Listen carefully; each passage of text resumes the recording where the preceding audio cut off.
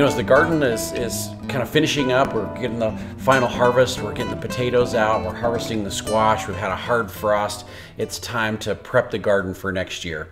You know, it's enjoyable, it's a great time out in the garden, but when it's over, eh, it's, it's time to take a break. So I like to put as much organic matter out there as possible. So when you're prepping your garden for fall, remember variety is the key. We want a variety of a whole bunch of different things. We don't want a lot of any one thing. So don't do four inches of steer compost and think your garden's going to be amazing next year. Don't do four inches of compost from the landfill thinking your garden's going to be amazing. We need a variety of different materials. So we want, you know, inch of leaves, uh, half inch of grass clippings, some compost from the landfill, some steer compost from the dairy down the street. We're going to use a bunch of different types of materials, wood shaving, sawdust. We need a variety of materials to be really successful with it.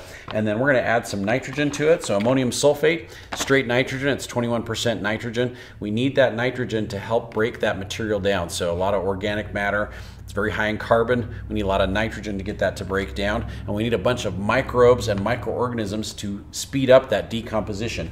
The humic is full of microbes, microorganisms, minerals, micronutrients, all kinds of building blocks of life, but it'll help break that compost down and uh, turn that into soil. So if we add our microbes and microorganisms that do the decomposition process, add some nitrogen in there to help speed up that process. And then if you're experiencing a lot of heavy clay soils, a soil conditioner like this Utelite, this is a wonderful naturally occurring material. It looks kind of like cat litter, but it absorbs and holds moisture like crazy. It's volcanic rock, and so it's going to be a permanent addition to your garden where the compost is going to break down over time.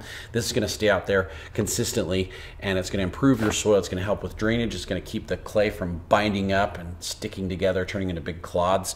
The Utelite soil conditioner, along with all that organic matter, some nitrogen, humic, till it all in and uh, you'll have an amazing soil combination for next year. So something we want to do every single year is amend our soil. And if we do the right combination, we'll have a really successful garden for next year.